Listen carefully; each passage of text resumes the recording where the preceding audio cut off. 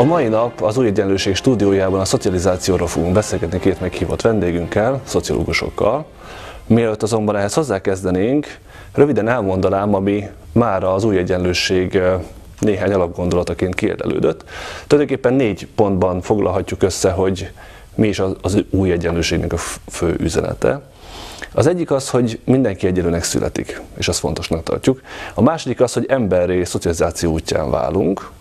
ez egy társadalmi folyamat, társadalmasodási folyamat. A harmadik ilyen üzenetünk, hogy a kiindulási feltételek, amikben az egyes egyének gyermekek megszületnek, azok rendkívül egyenlőtlenek. A négyes pont pedig az, hogy mi azt gondoljuk üdvösnek, kívánatosnak, hogy ezeket a kiindulási egyenlőtlenségeket minél jobban egyenlősíteni tudjuk, tehát ezeket az egyenlőtlenségeket mérsékelni tudjuk. A mai alkalommal elsősorban a kettes pontról lesz szó, tehát azt szeretnénk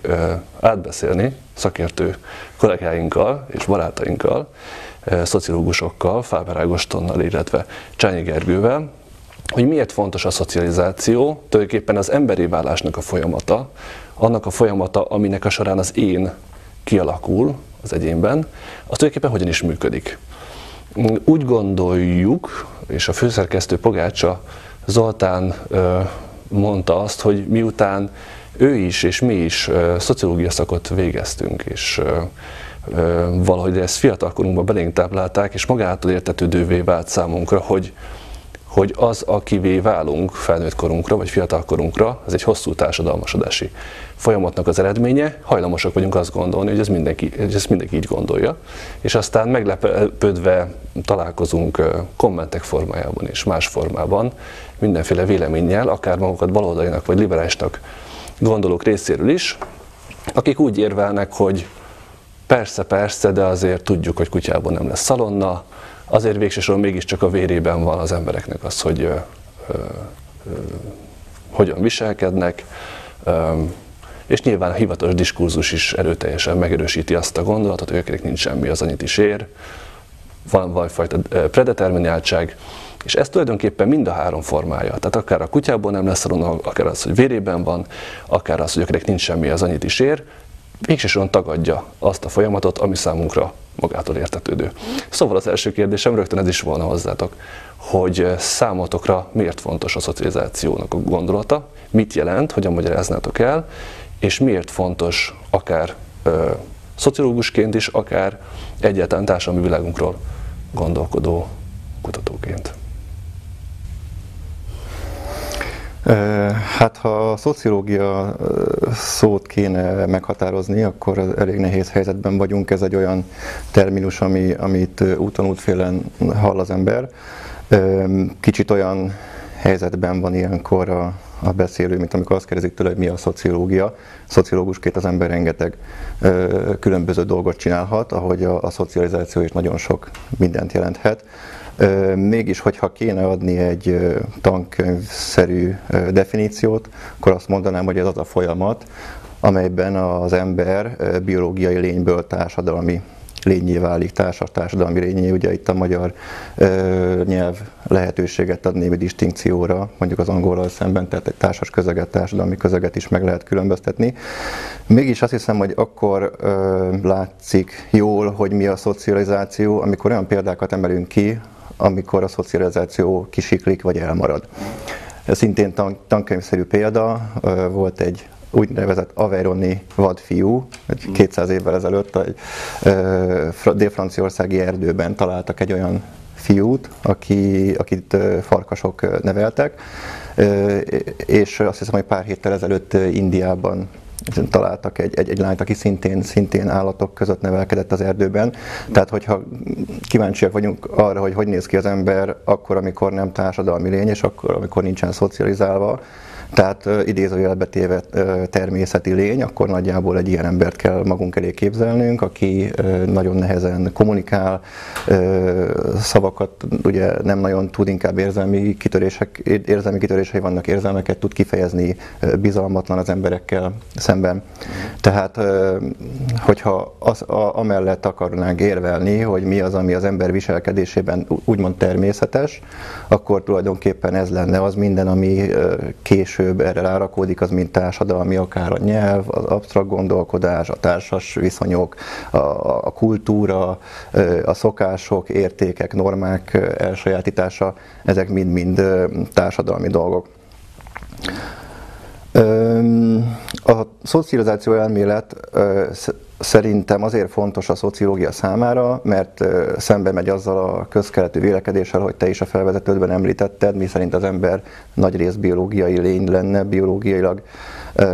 determinált lény lenne, tehát a, a szocializáció elméletek többé-kevésbé explicite azt mondják ki,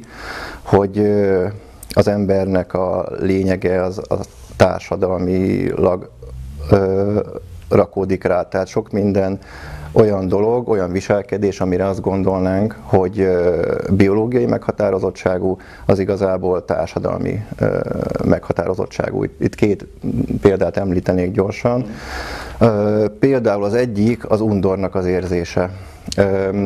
A Norbert Elias német szociológusnak van az egyik könyvében a civilizáció folyamatában egy passzusa, amelyben azt mutatja be, hogy a késsel villával étkezés az hogyan alakult ki.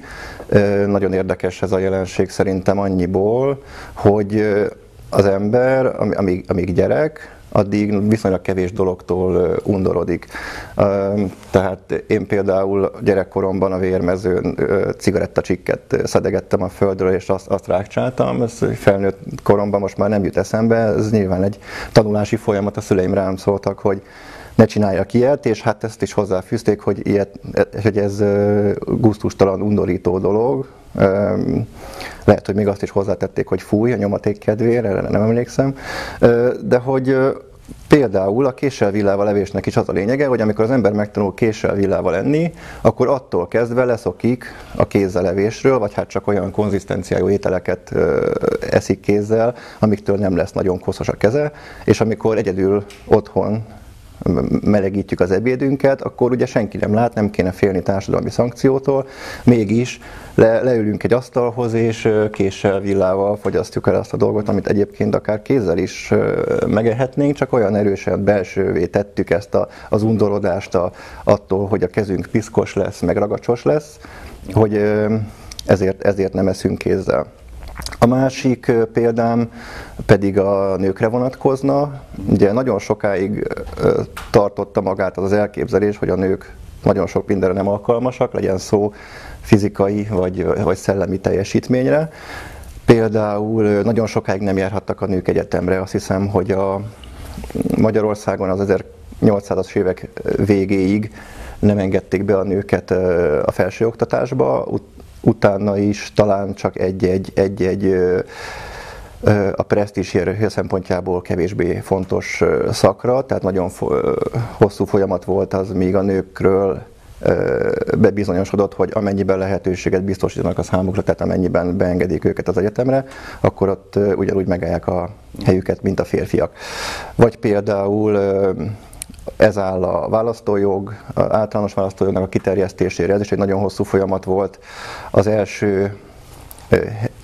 amerikai állam, ahol a nők választójogot kaptak, Wyoming állam volt a 19. század közepén, és ez a folyamat egészen a 20. század végéig kitolódott, ugye ez is egy ilyen tankönyvi példa, hogy Svájcban egészen 1971-ig a nők ö, nem szavazhattak, és hát azt hiszem, hogy Olaszországban is még a 60-as években, tehát Olaszországban is a 60-as években kaptak a nők ö, szavazati jogot. És ha, ha már említettem a fizikai teljesítő képességnek a lehetőségét, a, a,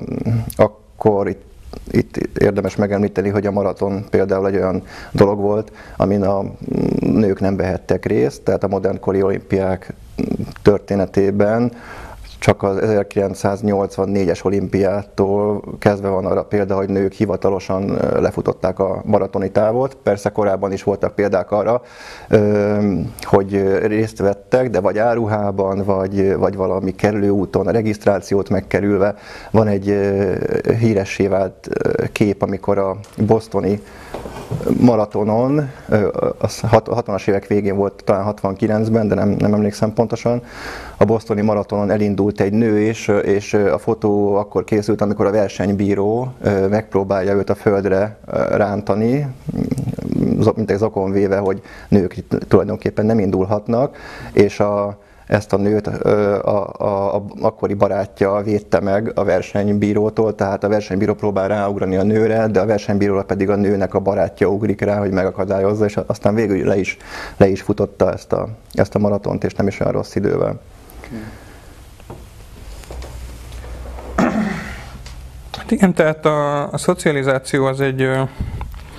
talán a szociológiának az egyik legfelkapottabb és leggyakrabban elhangzó egyik terminusa. Úgyhogy bizonyos elméleti irányból közelítünk ez a dologhoz, akkor a szocializációra nagyjából azt mondhatjuk, hogy az a dolog, ahogy a körülmények formálnak minket, és hogy mi vagyunk képesek formálni a körülményeket. Tehát gyakorlatilag a, a szocializációval belsővé tesszük a minket körülvevő léthelyzetet, a, az esélyeinket, és azt a társadalmi környezetet, ami körülvesz minket. Ez azért nagyon fontos dolog, mert hogy gyakorlatilag rengeteg ilyen dologra választod, amit már az elején felvetettél, hogy kutyából nem lesz szalonna, meg hogy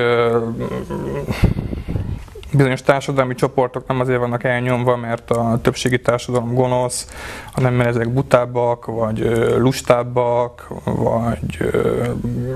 egyszerűen valamilyen erkölcsi defektusuk van, tehát nem annyira becsületesek, mint a többségi társadalom. De hogyha a szoci- szocializációnak a fogalmát elkezdjük megnézni, szétszedegetni, akkor azt látjuk, hogy az, azok a körülmények, amiben beleszületünk, azok a sajátjunké lesznek. Tehát azok, azok leszünk gyakorlatilag mi. És azokat a körülményeket, amik körülvettek minket, azokat ezáltal újra termeljük. Ezek úgy működnek gyakorlatilag, mint olyan önbeteljesítő jóslatok. Tehát, hogyha nagyon egy ilyen egyszerű szintre akarjuk levenni ezt a dolgot, akkor ez sokszor szokták mondogatni, hogy ennek sokszor elmondott, hogy hülye, vagy az tényleg hülye lesz. Tehát egy olyan ö, ö, kilátásokba, olyan esélystruktúrákba, olyan környezetbe születik bele, amiből egyszerűen az látszik, hogy nem lesznek lehetőségei az életben, akkor is erre készül. Tehát magáévá teszi ezt, a, ezt az alacsony lehetőségfokot. Amit Ágoston mondott például a késsel villáról evésről, nekem is egyik kedvenc szociológusom, Norbert Elias, van egy ilyen nagyon érdekes aspektus ennek az ilyen, hogy hogy alakul ki ez a késsevillám, a különböző mindenféle úgynevezett procedurális normativitás Ilyet nem szabad mondani, tudom. Tehát az, hogy egy bizonyos társadalmi osztályban mennyire bonyolultak a szokások, mennyire van szükség arra, hogy az ember visszafogja a pillanatnyi affektusait, érzelmeit, ösztöneit. Tehát amit például Ágoston is mondta, nem lehet nekiállni azonnal ö, kajálni kézzel, nem szépen lassan kialakul kés villa, és utána az arisztokráciában ez egy ilyen mai szemmel nézve egy ilyen ö, iszonyatos magas szintre ér el, tehát az, hogy kiadhatja föl a királynőre, nem tudom, a kabátját, meg hogy hogy kell másiknak köszönni, tehát egy, egy ilyen nagyon bonyolult ö, szokások alakulnak ki, és így utána az lesz a ö, szerepe az arisztokráciában, hogy különbözőnek a polgárságtól. Tehát a polgárság meg, megpróbálja lemásolni az arisztokráciát, az arisztokrácia egyre jobban fejleszti ezeket a szokásokat, ez azért fontos most ebből a szempontból, amiről beszélgetünk, mert hogyha az ember beleszületik egy bizonyos szokásrendszerbe, akkor utána nagyon, nagyon nehezen tud mobilizálódni. Nem csak azért tud nehezen mobilizálódni, amiről már nagyon sokan írtak és beszéltek az új egyenlőséggel, mert az objektív struktúrák olyanok, hogy nehéz mobilizálódni, például Magyarországon látjuk, hogy az egyik legzártabb társadalom, hanem azért is, mert Egyszerűen az ember bizonyos értelemben magáévá tette egy alsóbb osztálynak a szokásrendszerét, a kifejezés módját, felsőbb osztályokban, hogy azt mondják rá, hogy ez nem tudom, proli, vagy tudom, buta. Tehát egyszerűen ez egy nagyon jó példa szerintem arra, hogy hogy gyakorlatilag az egyenlőtlenséget a szocializációval ugye magunkévá tesszük, belsővé tesszük. Ezzel kapcsolatban hozzáfűzhetek még három dolgot. Igen, nagyon fontos, amire Gergő utalt, tehát a szocializáció egy olyan folyamat, amiben nagyon fontos az időtényező. Minél korábbi uh, tanulás, minél korábbi a tanulási folyamat, annál mélyebben ivódik, vésődik belénk az, amit megtanultunk. Ez szintén a szakirodalom ismere ilyen kifejezést, hogy elsődleges és másodlagos szocializáció, illetve reszocializáció. A, a, a, például a katonaságot, amikor sorkatonai szolgálatot teljesítenek a fiatalok, akkor ezt úgy szokták mm, leírni, mint, mint egy ilyen reszocializációs folyamat, tehát azokat a szokásokat, amiket a családban otthon megtanulunk, teljesen másfajta, nagyon szigorú, hierarchikus elvek alapján rendeződő szokások veszik át, és ez a, ez a folyamat nem megy zöggenőmentesen, kisebb-nagyobb ellenállásba ütközik, ugye az ember. Ellenáll annak, hogy a fiatal korában megtanult dolgokat megpróbálják benne megváltoztatni. Teszem hozzá, hogy a szocializációs folyamat már nagyon kiskorban sem egy erőszakmentes dolog, tehát egy olyan dolgot kell rákényszerítenünk a, a gyerekekre, amit ők maguktól spontánul nem csinálnának, vagy nem úgy csinálnának. Tehát amikor a gyerek lerohan a, a, az úttestre, a labda után, akkor, akkor a felnőtt utána szalad, és visszarántja a járdára, és azt mondja neki, hogy ilyet nem szabad csinálni, tehát a saját ö, életének a életének a védelme érdekében tulajdonképpen er, erő, erőszakot tesz a gyereken, tehát nem, ez nem, nem, nem, egy, nem egy sétagalopp azért egy ilyen szocializációs folyamat, tehát amíg a gyerek megtanulja a, a családban érvényes szokásokat, addig nagyon sokat sír, nagyon sokat ellenkezik, és amikor ezt ő egy idő után belsővé tette, akkor, akkor mondhatjuk azt, hogy a, a szocializáció nagyjából kiteljesedett. Persze vannak különféle szocializációs szinterek, ugye a családban elsődleges, vannak akár vallási közösségek, akár iskolai közösségek, akár a kortárs csoportnak a hatását is említhetjük, tehát nagyon sok felül érik szocializációs ingerek a, a gyerekeket. A másik dolog, amit szeretnék itt kiemelni, hogy a szocializáció az, az nem egy homogén dolog, tehát Gergő erre már utalt, különböző ö, milliókben, különböző osztályokban más és másfajta szocializációs mintázatok figyelhetők meg. Tehát ez a, ez a szofisztikált étkezés például, amire Gergő utalt az arisztokrácia esetében, ez is azt mutatja, hogy minél feljebb megyünk a társadalmi hierarchiában, ezek a szokások, ezek a idézőjelben performanszok, annál inkább szimbolikus értékkel, töltettel ruházódnak föl. Pontosan azért, amit Gergő mondott, hogy így az alsóbb osztályoktól ezek az osztályok magukat megkülönböztessék, tehát az alsóbb osztályokra inkább az jellemző, hogy a szükségszerűségnek jobban engednek, tehát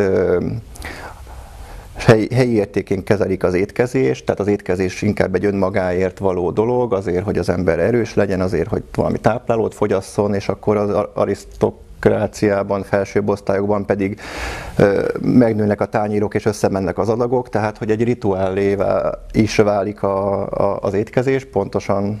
Pontosan azért, hogy így önmagukat megkülönböztessék azoktól az emberektől, akik önmagukért, tehát a táplálkozásért táplálkoznak, és nem, nem, az, nem, nem más, másokból kifolyólag.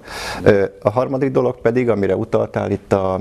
morális defektus kapcsán, erre is lehet egy példát mondani a szocializációval kapcsolatban. Volt a 19. század van egy olasz kriminológus orvos, akit úgy hívtak, hogy Lombrózó, és aki azt, azt, azt méricskélte és vizsgálta, hogy a különböző fiziognómiás jegyek, tehát az, hogy az emberek mekkora a füle, a homloka mekkora és a szemgödre mekkora, az hogyan függ össze azzal, hogy ő mennyire ö, hajlamos bűnözői életmódot elkövetni. Ezt, ezt a ezt a, ezeket a vizsgálatokat már több, több ponton cáfolták meg, abban az időben is komoly felháborodás övezte ezeket a, ezeket a megállapításokat, amivel ugye egyrészt az a baj, hogy nem igazak, a másik probléma pedig az, hogy a bűn az egy ö, olyan dolog, ami egy társadalmi konstrukció, tehát térben és időben több, több kevesebb változékonyságot mutat. Elég nehéz elképzelni, hogy bizonyos állandó testi jegyek kell magyarázható lenne valami, ami önmaga nem állandó, hanem bizonyos fokú változékonyságot mutat térben és időben. Tehát egy ilyen Tehát nem, nem egyszerűen arról van szó, hogy nem igaz ez a, ez a felismerés, hanem definíció szerintem is lehet igaz. Uh-huh. Igen, talán még annyit ehhez, hadd tegyek hozzá, hogy tehát abszolút igaz, hogy a, a szocializáció az egy élethosszig tartó folyamat, viszont gyermekkorban lehorgonyzott. Tehát a súlypontja gyermekkorban egy nagyon érdekes kutatás, ezt René Spiss csinálta, egy pszichoanalitikus kutató a második világháború után. Azok a gyermekek, akik a világháború miatt árván maradtak, és nem kapták meg azt a törődést, anyai vagy gondozói törődés, nem is a, az ételről van itt szó, hanem a, az érintésről. Tehát azok a gyermekek, akik egyszerűen csak ételt kaptak, és nem kaptak érzelmi törődést, érintést, simogatást, azok egy nagyon nagy része egyszerűen meghalt, és egy másik nagy része pedig sérült lett egész felnőtt korára. Tehát azért fontos, hogy ezt így megnézzük, hogy körülbelül az első egy évben ennyire fontos, hogy a, gyermek milyen háztartásba születik bele. Tehát, hogyha ebből az ilyen félig meddig kórházi vagy kísérleti szituációból kiveszük ezeket a dolgokat, akkor azt látjuk, hogy az embernek a legelső egy évében meghatározza az, hogy meghatározza az egész életét az, hogy a, a háztartásba beleszületik, ott mennyi időt tudnak rá fordítani, tehát a, a szülei vagy a gondozói mennyire vannak leterhelve a munkával, ö, mekkora a feszültség abba a háztartásba, milyen körülmények közé születik. Tehát gyakorlatilag az egész életét meghatározza valakinek az, hogy egészen a kezdetektől hogyan szocializálódik. Egy mondatot ide beszúrnék, vagy egy bővített mondatot. A kismajmokkal is végeztek ilyen kísérletet, ha már Gergő a korai korai szülői hatást említette, tehát a kismajmokat elszakítottak az anyjuktól, és olyan ketrecekbe raktak, ahol volt egy ilyen drótból létrehozott ilyen szoptató gépezet, meg volt egy ilyen szőrös bevonattal rendelkező hasonló gépezet, és azt figyelték meg, hogy a majmok az idejük nagy részét egy olyan, a, a szőrös, szőrös bábun töltötték, és a csak elenyésző részét a, drótból készült bábun, ez, ez is a, arra mutat, hogy az ilyen nagyon korai fizikai kapcsolat mennyire fontos nem csak az embereknél, hanem akár a majmoknál vagy a főemlősöknél is. Oké. Okay. Összefoglalva, amit mondok, tulajdonképpen azt veszem ki, hogy, hogy a szocializáció egy olyan folyamat, amelynek során az, ami közvetlen környezetünkben van, nem a, elsősorban a tárgyakra gondolok, bár azok is hatnak ránk, hanem az az érzelmi környezet, az a támogató vagy éppen nem támogató családi ö, légkör, az nagyon erősen belénk épül, és a tulajdonságunká válik, tulajdonképpen a természetünké válik, és amikor később felnőtt korunkban, vagy az iskolába belépve a tanárnő, a tanítónő, vagy a tanító ö, minket, mint jó diákokat azonosít, akkor tulajdonképpen végső soron a családi helyzetünket ö, osztályozza, és a családi helyzetünket minősíti jónak, mert azok a gyerekek, akikkel otthon egyrészt foglalkoztak, mesét olvastak nekik, figyeltek rájuk, próbáltak támogató érzelmi légkört kialakítani és biztosítani a számukra, és közben ösztönözni is őket, azok meg fogják magukat értetni az iskola, sőt az óvodában, és aztán az iskola első osztályban és a tanítóval, és hogy tulajdonképpen sokkal könnyebben fognak tudni jó tapasztalatokat szerezni, ösztönzést és pozitív visszajelzést, és így tulajdonképpen ráállhatnak egy viszonylag viszonylag bíztató iskolai szocializációs pályára, ami majd később aztán diplomával és minden ilyesmivel is megajándékozza őket. Az van a kérésem, hogy kicsit világítsátok meg nekünk azt, hogy ha mm, hogy tulajdonképpen két tegyük fel egy pillanatban születő, vagy egyszerre születő csecsemőnek az életpályája Magyarországon, attól függően, hogy milyen, éle, milyen osztályhelyzetbe születnek bele, hogyan térhet el. Tehát, hogy, hogy kicsit lássuk azt jobban, hogy oké, okay, oké, okay, mindkét gyermek valami szocializálódni fog, de milyen tipikus szocializációs pályák lehetségesek Magyarországon, amelyek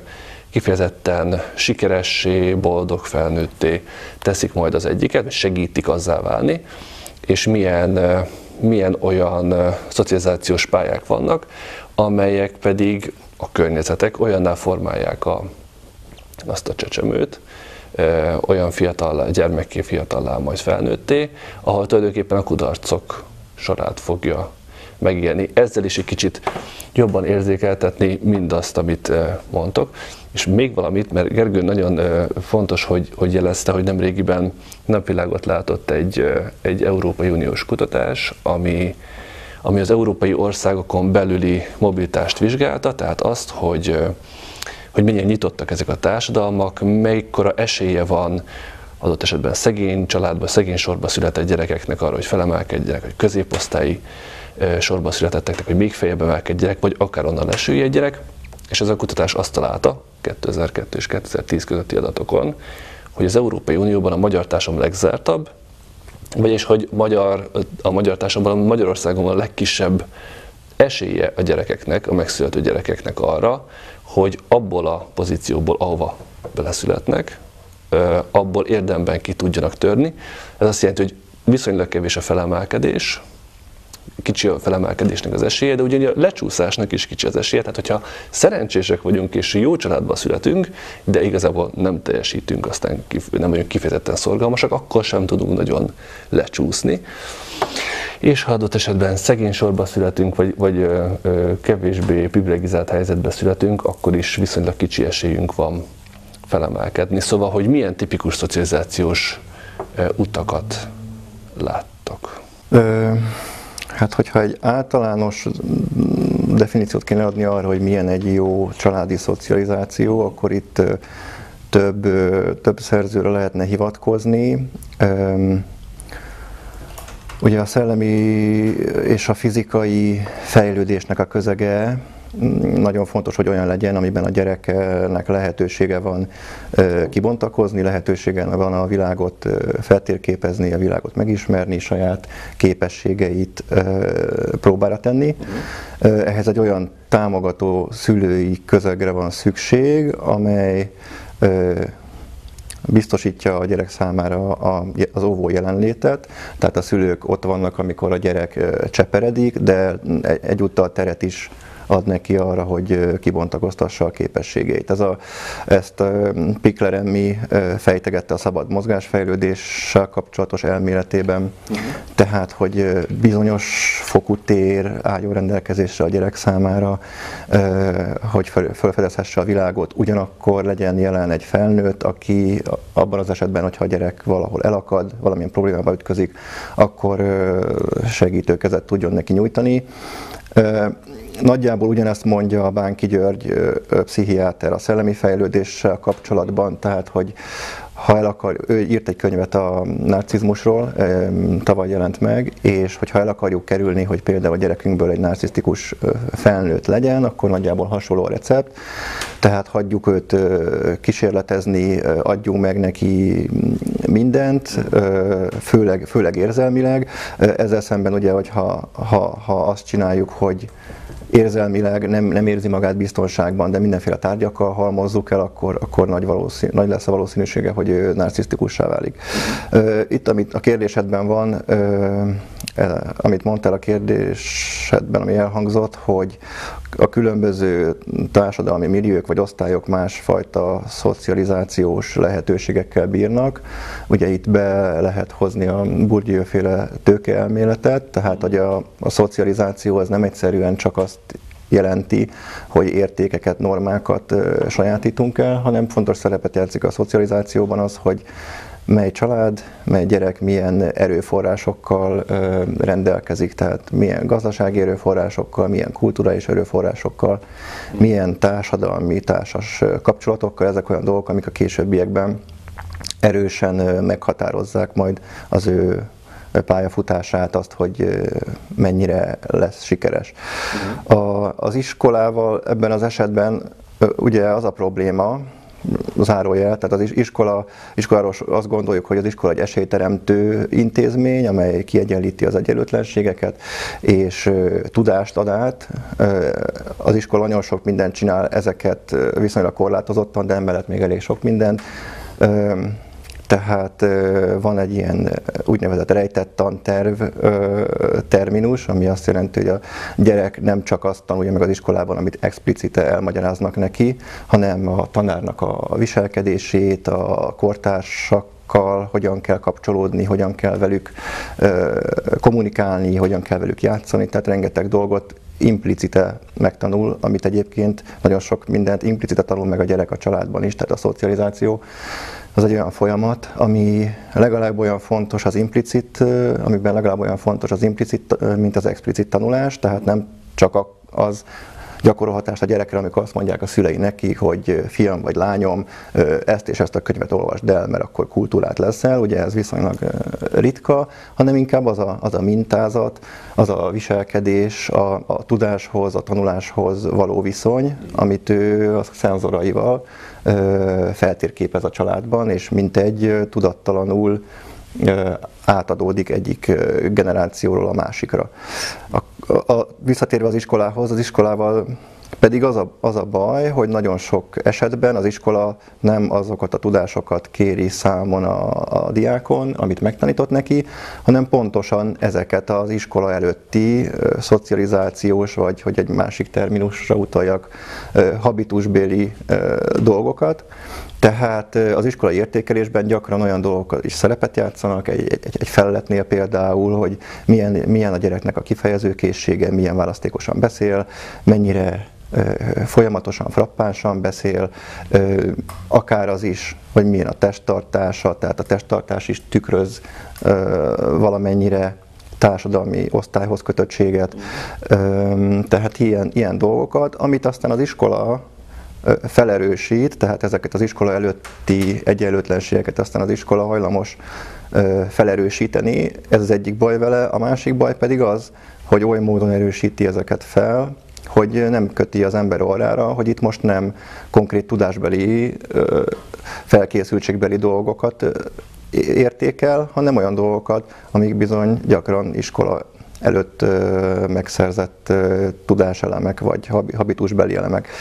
Uh-huh. És a további probléma az, hogy ezt nem csak az iskolában a tanárok feltételezik, hanem utána azok a diákok is, akik rossz tanulók lesznek, ők is a saját sikertelenségüket azzal fogják magyarázni, hogy bizony én nem tanultam eleget, nem voltam elég szorgalmas, én, én buta vagyok, és az önhibáztatásnak elindul egy ilyen spirálja, ami, hogyha tudjuk azt, hogy az iskolai siker az nem kis részben születésbeli, tehát szocializációs vagy osztály, osztály kérdés, akkor lehetőségünk lenne ezeket az embereket fölmenteni az alól, hogy önmagukat tegyék felelőssé olyan dolgokért, amikért részben vagy egészben nem ők felelősek. Egyrésztről meg azt húznám alá még egyszer, hogy amire ezek a pszichológiai és pedagógiai tanácsadókönyvek nagyon ritkán reflektálnak, hogy ez a ilyen kettős feltételrendszer, hogy ott kell lenni a gyerek mellett, érzelmileg támogatni kell, de helyet kell neki hagyni. Szóval ez se egy olyan dolog, ami, ami csak egy döntés kérdése. Csak annak a kérdés, hogy az ember elolvassa ezeket a könyveket, és akkor megteszi ezt, jó szülő lesz, vagy nem lesz jó szülő, hanem egyszerűen is egy strukturálisan determinált, tehát egy abszolút a anyagi létfeltételekhez kötött dolog, hogy az embernek mennyi ideje van a saját gyerekére, mert hogyha valaki egyedül neveli a gyerekét, és másodállást kell vállalni, STB, STB, STB, akkor egyszerűen kevesebb ideje lesz erre a gyerekre, tehát ez nem egy erkölcsi értelemben vett jó szülő vagy rossz szülőnek a kérdése. A másik dolog, hogy akkor megpróbálkoznék egy ilyen rossz szocializációs pályával. Tehát az jutott eszembe, hogy a, ugye nemrég ö, számolták fel, talán egy másfél éve a kék pontot a nyolcadik kerületbe, és ott például egy három generációs szerhasználatot tártak fel az ottani kutatók, tehát ez azt jelenti, hogy a, a nagymama, anyuka, apuka, meg a gyerek is rajta volt a akkoriban talán még az amfetaminon, amfetaminon aztán a különböző ilyen designer drogokon. Uh-huh. Ez egy nagyon jó példa erre szerintem egy bizonyos ilyen áldozathibáztatási mechanizmusra, hogy na jó, de hát ők azért nem jutnak előre, mert drogoznak, ugye? És itt kb. arról van szó, hogy van a 8. kerületnek ebben a részében, itt a Magdolna utca környékén egy ilyen mikroszegregátum, amiben gyakorlatilag bele, beleszületnek a, a gyerekek egy eleve szerhasználó családba, kilátástalan körülmények közé, teljesen nulla kulturális tőke közé, alacsony munkakörülmények, vagy alacsony eséllyel arra, hogy el tudnak helyezkedni a munkaerőpiacon. Gyakorlatilag ebből a szempontból nézve a kábítószer használat ez egy többé-kevésbé racionális döntés. Tehát ez nagyon fontos kiemelni szerintem, hogy nem a, nem a kábítószer használat miatt van ö, nyomor, hanem a nyomor miatt és a nyomor okozta ö, szocializációs defektusok miatt van kábítószer használat, tehát ez például egy ilyen rossz szocializációs pálya. A harmadik nagyon fontos dolog szerintem, hogy, hogy itt tök jól összefoglaltad azt, amiről beszéltünk, de hogy így eddig ugye nagy részt erről a, a, a gyermekkori szocializációról van szó. Ugye azt állapítottuk meg, vagy ebbe egyeztünk meg talán így hárman, hogy a, a szocializáció az egy élet ö, hosszig tartó folyamat, ami gyermekkorban lehorgonyzott, ott van a súlypontja. Tehát fontos lenne még beszélni a, a felnőttkori szocializációról, tehát a, egyrészt a médiáról, a intézményrendszerekről, és azt nagyon fontos még szerintem kiemelni, hogy a, a úgynevezett neoliberális ideológia, ami benne van a sorozatokban, a reklámokban, a tanácsadó könyvekben, tehát abban a környezetben, ami már a nap felnőtt, vagy nagyjából felnőtt embereket körülveszi, ez egy iszonyatosan individualista az egyénre, a hangsúlyt az egyénre helyező ideológia, és ennél fogva ezek a, a szocializációs defektusok mindig úgy tűnnek fel, mint hogyha az egyénnek valamiféle ö, belső diszkrepanciája, vagy belső defektusa lenne. Ez nagyon jó példa, ezt te is megírtad többek között, hogy azok a tanácsadó könyvek, amiknek az a szlogenje, hogy egyre terjednek, hogy fejben dől le, rajtad áll, benned van a létra, be kell vonzani. Ezek azok a szlogenek, amik iszonyatosan jól kifejezik a neoliberális ideológiát. Gyakorlatilag ezt a meghatározást, ezt a, a szocializációt így teljesen kiveszik a, a látótérből, úgy tüntetik fel, mint hogyha mindenkinek ö, azonos esélye lenne, és akkor csak akarni kéne ezt a dolgot, és minden az egyénen múlik. Igen, és ezzel a fajta szemlélettel az is baj, hogy a társadalmi eredetű és társadalmi súlyú problémákat egyéni szinten szeretne kezelni, és a kezelésnek a szerepét az egyénre hárítja, tehát egy olyan, olyan nehéz terhet rak az egyénre, amit az egyén talán feltétlenül el sem bír. Tehát, hogyha most mondok egy szándékosan sarkított példát, van egy cigány gyerek, aki, aki nagyon rosszul érzi magát attól, hogy őt nem, szeret, nem szeretik azért, mert ő cigány. Tehát el, elmegy a nem tudom, iskolatanácsadóhoz, iskolapszichológushoz, és az iskolapszichológus, hogyha nem ismeri föl ennek a problémának a társadalmi gyökerét, például az előítéletekben, akkor azon fog dolgozni, hogy ez a gyerek hogyan igazítsa úgy a világlátását, hogyan álljon, hogyan módosítsa a viszonyát a többi gyerekhez úgy, hogy minél jobban el lehessen kerülni ezt a konfliktust. Tehát ha idegen szóval akarnám ezt a helyzetet leírni, akkor egy ontológiai problémából egy epistemológiai problémát csinál. Tehát ez azt jelenti, hogy nem a problémát ragadja meg, hanem a problémának az érzékelését, a problémának a felfogását szeretné megváltoztatni, ami hát nagy részt tüneti kezelés, mert hogy a probléma gyökere nem, nem, nem egyéni szinten van. És hát, hogyha ez a fajta, megint mondom, direkt sarkított példa, tehát bízom benne, hogy, hogy nem gyakori, de de a gondolatkísérlet kedvéért tegyük fel, Tehát, hogyha ez a fajta szemlélet, hogy a kollektív problémákat az egyénnel próbáljuk megoldatni, azt is, azt is fogja eredményezni, hogy alássuk a bázisát a, a, a, társadal, bázisát a társadalmi mozgalmaknak. A társadalmi mozgalmak nagyon fontos bázisa a szolidaritás, tehát az a jelenség, hogy nem csak akkor emelem fel a szavam bizonyos problémák miatt, amikor én közvetlenül érintve vagyok benne, hanem akkor is felemelem a szavam, hogyha egy másik ember van érintve benne, mert hogy én a másik emberben tulajdonképpen saját magamat is felismerem. Nem csak arra gondolok, ami persze igaz, hogy adott esetben engem is ér, érinthet egy intézkedés hátrányosan, vagy engem is érinthet a diszkrimináció, tehát arra is gondolhatok, hogy majd akkor a másik kiáll értem, ha én most kiállok ő érte, de ennél sokkal bázikusabb szintről van szó, amennyiben a, a léthelyzetek viszonylag közel vannak egymáshoz, akkor, akkor nagyobb az esélye a társadalmi szolidaritás kialakulásának, és akkor itt visszakötnék az óvodára, visszakötnék az iskolára. Tehát, hogyha van egy jól működő, ingyenes,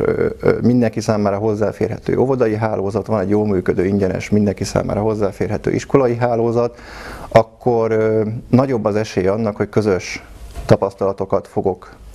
szerezni minél több emberrel, és minél több közös tapasztalatom van vele, minél ö, több olyan elem van az én világlátásomban, ami az övében is jelen van, annál nagyobb az esélye annak, hogy ez a, ez a közelség, ez, ez szolidaritásban fog megnyilvánulni. Ennek az ellenpéldája a,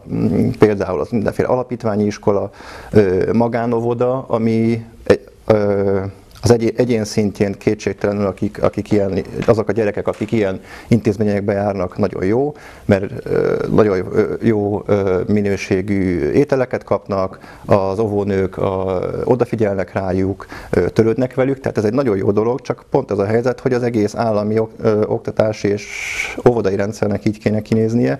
és akkor nem indulna meg ez a fajta szegregáció, tehát a különböző társadalmi osztályok, gazdagabbak nem, elkülönüléssel gazdagabbak nem hagynák el a, a hajót ideje korán, és nem indulna meg már három, négy, öt éves korban az, hogy a jobb módúak egy teljesen másfajta intézményi közegbe járatják a gyerekeiket, mint azok, akiknek nem áll rendelkezésükre megfelelő anyagi forrás, hogy ezt megtegyék. Igen, talán ez egy ilyen kettős probléma. Egyrészt lesz, hogy a léthelyzetek egyre messzebb kerülnek egymástól, tehát egyre nőnek a, a társadalmi különbségek, és a másik probléma pedig az, hogy a hivatalos ideológia mindezt legitimálja. Tehát nem csak az a baj, hogy, hogy nagyon messze kerülnek egymástól ezek a mm, életszituációk vagy léthelyzetek, hanem az, hogy a, az ideológia szerint, aki ebben a sok skálás hierarchiában felül van, az mindezt csak magának köszönheti. Tehát nem is kell, hogy szolidáris legyen mással, mert hogy a neoliberális ideológia szerint ugye mindenkinek van esélye fölkerülni a létre tetejére, aki alul van, az egyszerűen nem próbálta elég keményen, mert fejbe dől el, és egyszerűen nem, egyrésztről persze ez is, hogy a, a különböző léttapasztalatok nagyon messze esnek egymásról, egymástól, de másrésztről pedig ott van az is, hogy egyszerűen az van a, a köztudatban, hogy ez mindenki magának köszönheti, tehát nincs is miért szolidárisnak lenni. Említetted Ágoston, és korábbi beszélgetésünkben is gyakran előkerült tek ezek a fogalmak. Szeretném, hogy egy kicsit jobban elmondanátok, hogy mit is jelentenek itt a tőkék. Mert hogy számunkra tényleg teljesen magától értetődő, és sokszor átrágott, megbeszélt dolog ezek, de nem biztos, hogy világos azok számára, akik ezzel nem foglalkoznak, vagy nincsen idejük tulajdonképpen ezekkel a dolgokkal foglalkozni, mert dolgoznak és más egyéb módon szükségszerű kötelességeket teljesítik, hogy Ugye az ember azt gondolhatná, hogy, ahogy nagyon gyakran meg is fogalmaznak, hogy ez egy olyan világ, ahol ha van pénzed, akkor tiéd a világ, ha nincs pénzed, akkor csóró vagy és bezárulnak előtted az ajtók, és ez a kapitalizmusban nyilvánvalóan így is van, ez, ettől ez a neve a tőkének a rendszere, de hogy, de hogy szociológusok már 50-60 évvel ezelőtt elkezdték felhívni a figyelmet arra, hogy milyen különféle, milyen további tőkék állhatnak rendelkezésre emberek számára ahhoz,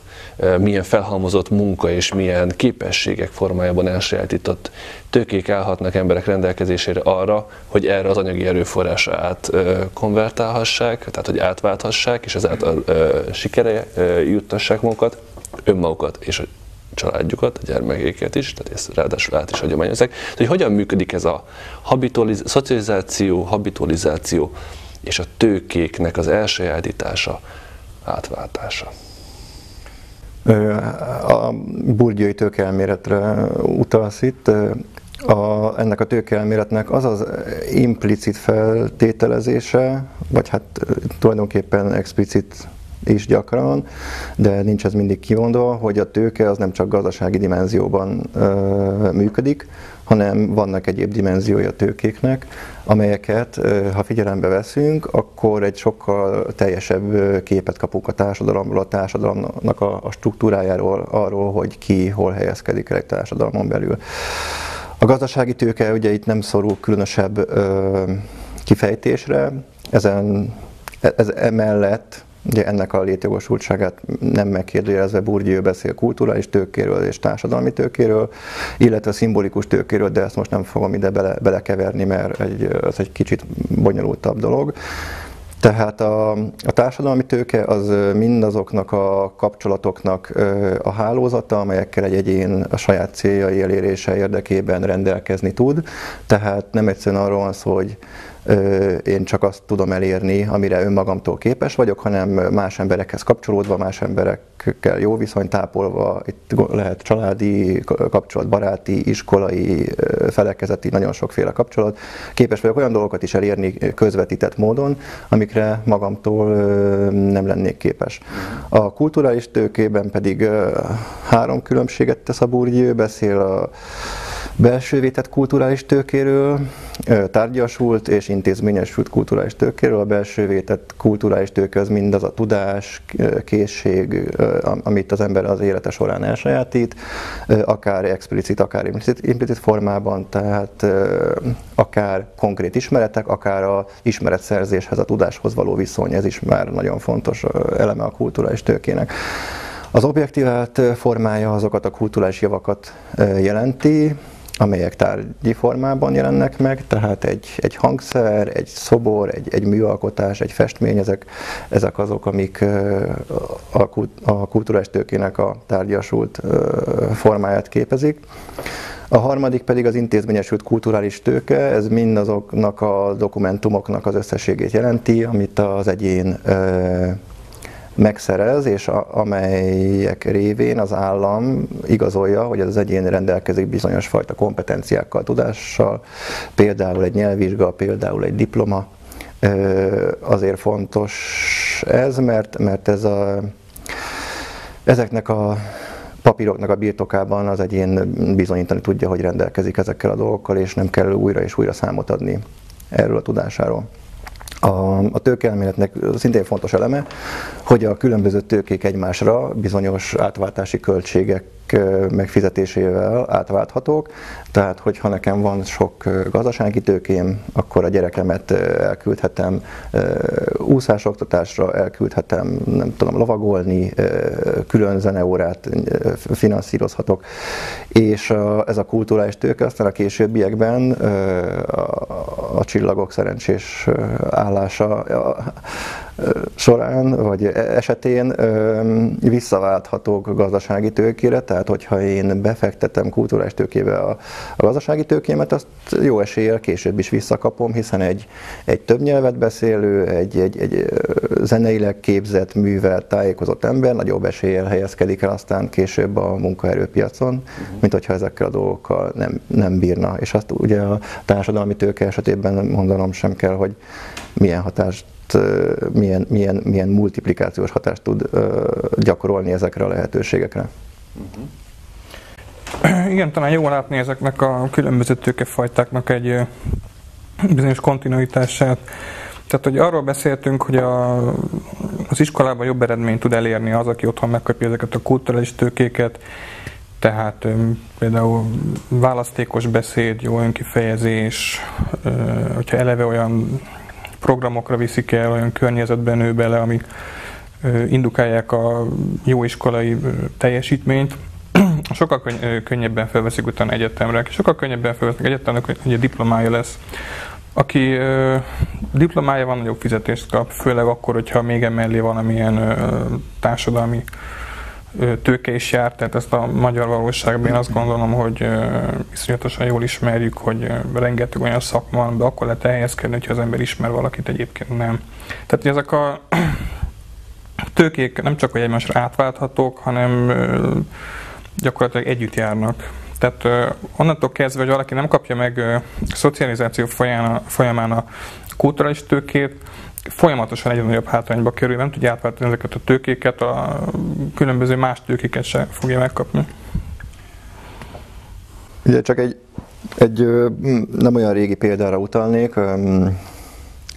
nem, nem tudom, hogy emlékeztek-e arra, hogy kiket hívtak bunkofonos vállalkozónak. Ez az utólag kicsit komikusan hangzik, mert most már ez a szó, hogy bunkofon, ez teljesen kiment a divatból, de hogy a, a mobiltelefon ez egy olyan drága ö, dolog volt, ami, amit, amit nagyon kevesen tudtak megfizetni, és nem ritkán olyan emberek telefonáltak hangosan az utcán, tehát feltűnően performanceként telefonáltak az utcán, egy mutatva az, hogy nekik ilyen drága telefonra elég, akik nem rendelkeztek nagy, nagy, nagy szintű kulturális tőkével, tehát ez a bunkofonos vállalkozó, ez egy olyan embernek a, a képe, akit, akit úgy, úgy ír, lehetne leírni szakirodalmi terminológiával, és státusz inkonzisztencia, tehát hogy az anyagi dimenzióban neki viszonylag sok van, kulturális dimenzióban viszonylag kevés, és úgy tűnik, hogy ez sok ember szemében ilyen komikus hatást fejt ki, és ugye a, a kritikusok arra hívják fel a figyelmet, hogy nagyon emberről van szó, aki azt, azt képzeli magáról, hogy, hogy nagyon sokat ér, ami lehet, hogy gazdasági dimenzióban igaz, de hogy kulturális dimenzióban nem feltétlenül. De egyébként Egyébként a társadalmakban nem, nem, nem ez az általános trend, tehát a, ahogy a Gergő is utalt arra, a különböző, meg ahogy én is utaltam a tőke konverziók esetében, tehát a tőke tőkét vonzelve azért elég erősen érvényesül a társadalomban. Ugye szokás azt is mondani, hogy nem érdemes tanulni, mert úgyis csak azok érvényesülnek, akik, akik, akik megtalálják a kerülőutakat, és akik megtalálják a, a kiskapukat. A, a statisztikák erre rácáfolnak, tehát a, a diplomás, magasan képzett képzett emberek még mindig több, többet keresnek, mint a diploma nélküliek, meg hát ugye Európai Uniós piacon élünk, tehát nagyobb esélye találnak külföldön is munkát azok, akik, akik magasabban képzettek. Tehát ezek a inkonzisztens emberek, ezek, ezek lehet, hogy átmeneti időszakokban ezeknek a száma nő, vagy esetleg jobban szem elé kerülnek, de alapvetően a társadalom nem így működik. Uh-huh egy utolsó, következő és egyben utolsó kérdésem arra vonatkozna, hogy hogyha így van, hogy a társadalom szerkezete és tulajdonképpen a társadalom újratermelésének a szerkezete is végső soron ilyen, ezeknek a tőkéknek az újraelosztásának a folyamatát is jelenti. Tehát ez nem, nem statikus valami, hanem itt különféle intézmények osztják újra ezeket a tőkéket, különféle intézmények, intézményrendszerek ö, osztják el a tudást a társadalomban erre utaltunk röviden úgy, hogy iskola vagy oktatási rendszer, hogy az egészséget is, az egészség megőrzést és az egészség visszanyerésének lehetőségét is ilyen intézményrendszerek osztják el. Egy olyan társadalom, ahol ezek az újraelosztó, elosztó, esélyteremtő intézmények nem működnek, ott azt látjuk, valószínűleg ebben egyetértünk, de jelezzétek, ha nem, hogy egy alapvetően piaci, vagy tisztán piaci elven ö, működő társadalom az valami olyasmi társadalmat hoz létre, hogy kevesen vannak felül, ezek a kevesek majdnem minden tőkefajtából viszonylag sokkal rendelkeznek, tehát viszonylag nagy vagyonuk van, viszonylag jó jövedelmeik vannak, jó kapcsolataik, eliten belül viszonylag jól ismerik egymást, tehát tudnak egymásnak segíteni, viszonylag műveltek, vagy képzettek, vagy legalábbis a piacon értékesíthető tudásuk van, ők viszonylag kevesen vannak, és viszonylag sokan lesznek azok, akik nem tudnak bekapcsolódni ebbe a vérkeringésbe, ami nyilván alapvetően a fővároshoz, meg városok, városi terekhez fog kapcsolódni, nem fognak tudni a piacgazdaságnak nevezett valamibe bekapcsolódni, ennek a vérkeringésében, és tulajdonképpen kirakod egy polarizált társadalom, kevesen felül, viszonylag sokan alul, és kevesen középen. Valami ilyesmi alakult ki mára, amikor tudjuk, hogy kb. 4 millió ember él Magyarországon a létminimum alatt, ami, ami elég megrendítő szám, hogyha végig gondoljuk azt, hogy hogyha most mm, egészen pontosan az államhatáron belül, vagy az állampolgároknak a számát nézzük, akkor ez nem éri el 10 milliót. Szóval, hogy a kérdésem ilyen hosszú felvezetés után az volna, hogy mit gondoltok arról, és persze itt az ember már kicsit el is hagyja a szociológiát, mert a szociológia feltétlenül elemzésre, értelmezésre való tudomány, de mit gondoltok arról, hogy hogyan lehetne ezeket a különféle tőkihez való hozzáférést elosztó intézményeket alapvetően jobbá tenni, úgy átalakítani, hogy szélesebb társadalmi csoportok is jobban hozzáférhessenek az esélyekhez. Ez már valahol az előbb a felkon vagy négy pontba foglaltam össze, ez már inkább a hármas és a négyes pont. Jaj. Hát ö, alapvetően ugye, ez, ö, amit mondasz, ez tényleg így van, hogy ö, amennyiben a amennyiben piaci viszonyokban gondolkozunk, akkor olyan embereket érdemes egymással versenybe indítani, akiknek közel azonos feltételeik vannak ahhoz, hogy, hogy helytálljanak ebben a versenyben. Tehát a különböző sportágokban is vannak kategóriák, az ökölvívásban például súlycsoportok, nem, nem eresztenek össze olyan embereket, akiknek nagyon eltérő esélyük van a, a győzelemre. Hát, ugye Szoktá, van ez a mondás, hogy úriember biztosan nem fogad, tehát hogyha olyan két olyan embert eresztek össze, akiknek nagyon eltérőek a lehetőségeik, akkor tulajdonképpen borítékolhat, hogy melyikük fog felülkerekedni. Szerintem ez belátás és politikai szándéknak a kérdése, hogy ki hogyan gondolkodik a társadalomról. Ha úgy gondolkodunk a társadalomról, hogy a mindenki mindenki ellen indított versenye vagy csatája hozza el a közjót, akkor, akkor olyan típusú társadalom, társadalom irányába fogunk lépéseket tenni, vagy intézkedéseket hozni ennek elősegítés érdekében. Ha pedig abban hiszünk, hogy a verseny hátrányokat valahogy kompenzálni kell, akkor egy, egy újraelosztó típusú politikát érdemes folytatni, progresszív adózással és jóléti transferekkel. Igen, ebből a, az Ágoston mondott a belátást húznám alá kétszer, tehát én most szakpolitikai programot nem tudok megfogalmazni, de, de azt nagyon fontosnak tartom, hogy, hogy reflektálni kell arra, hogy, hogy a versenybaromira nem egyenlő. Tehát a, a legelső lépése annak a, az útnak, ami valószínűleg válasz a kérdésedre, az lenne, hogy a, a neoliberális illúzióval való leszámolás, tehát kimondani azt, hogy, mindenki egyenlő esélyekkel indul a, a piaci versenyben, az egy baromság. Én, én ezt látom a, legalábbis a legelső lépésnek mindenféle szakpolitika felé. Uh-huh. Köszönöm szépen, hogy itt voltatok. Um, Gergő utalt arra korábban, hogy, hogy a média is fontos szocializációs szintér, és ezekkel a beszélgetésekkel, meg ezzel a beszélgetéssel is tulajdonképpen,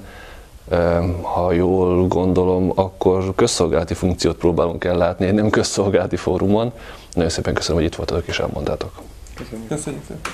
A mai alkalommal a szocializációról beszélgettünk az új egyenlőség stúdiójában Fáber Ágostonnal és Csányi Gergelyel, szociológusokkal.